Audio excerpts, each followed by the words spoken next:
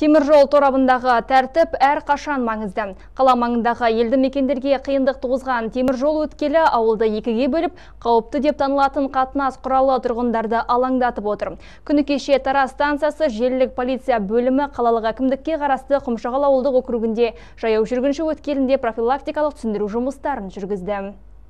Мұнда жиылғандар ауылды қос тарапқа бөлген темір жол рельстерінен қиындық көрген құмшағалдық қараша. Маңызды пойыз жолының бойында орналасқан ауылда әр 20 минут сайын жүйткіген жүрдек пойыз өтеді. Мал мен жанның өтуіне қауіпті болып табылатын темір жол бойында бұған дейін де оқыс оқиғалар кездескен. Ендігі тұрғындардың тілегі осы жолға жол өткелін қалап, пойыз сигналдарын орнатуды сұрап отыр ауызша айтылып жүрген нәрсе енді мінекей қолға алып отырық жаңағыдай бұл мәселені енді қолға алып отырық.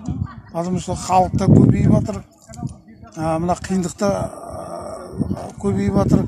Мына жақтан мешіт соғылып мына жақтан мына балалардың стадионы соғылып соны ары бері өтуіміз қиындап ары бетке медпункттар темір жолдың арғы бетінде құмшағалда ол жаққа барып келуіміз қиын болып жатыр содан кейін қолға алып отырғанымыз қазір Өткен жылдың дерегіне сүйенсек аталған көлік салдарынан үш жарақаттану дерегі тіркелсе, темір жолға қатысты үш тәртіпсіздік орын алған. Құмшағал мен Шөлдала станциясы аралығындағы 3500-ге жуық шақырым рельс тұрғындарының өмірі мен денсаулығына қауіп төндіріп, төрт түлігінің жайылымына кедергі келтіріп тұр. Әйтсе де жауапты желілік полиция қызметкерлері тұрғындарға өткел салудың жолдарын қарастырып, түсіндірме жұмыстарын жүргізді.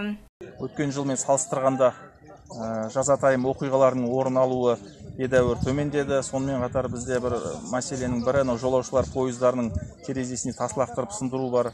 Ол да ол бойынша да былтырғы жылмен салыстырғанда былтыр үш дерек орын алса биыл екі дерек орын алды.